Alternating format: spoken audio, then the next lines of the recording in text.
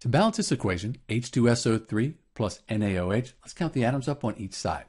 We have two hydrogen atoms, and then this SO3, it's a polyatomic ion, and we have it here, it stays together, we have it here. So we're going to count this as one item, and that'll make the balancing a good bit easier for us. So we have one SO3, one Na, and then we have one oxygen.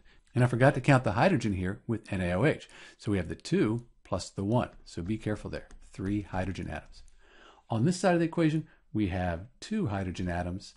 We have one sulfite ion, two sodiums, and then the one oxygen here. Let's start by balancing the sodiums and see what that does. If we put a 2 in front of the sodium hydroxide, that would mean we'd have 1 times 2. That would give us two sodiums. Those would be balanced. Oxygens, 1 times the 2, two oxygens. And then hydrogens, let's update those again. So I have the 2 here, plus I have 1 times 2. I have a total of 4 hydrogen atoms.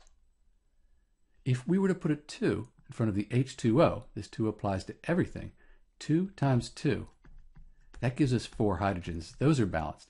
And then 1 times the 2 for the oxygen, that gives us 2.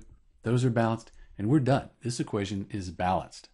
So by counting this sulfite ion, this SO3 ion here, because it appears on both sides, that makes it a good bit easier to balance this equation.